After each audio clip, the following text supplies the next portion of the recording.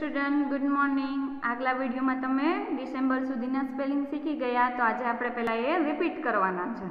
તો જાન્યુઆરીનો શું થાય? J A N U A R Y. ફેબ્રુઆરીનો F E B R U A R Y. પછી શું આવે? March. M A R C H. એના પછી next April. A P R I L. Next May, M A Y. May પછી શું આવે? જૂન. જે U N E. જૂન પછી જુલાઈ. જે યુ એલ વાય. જુલાઈ પછી August. A U G U S T. August પછી શેનો આવે? સપ્ટેમ્બરનો.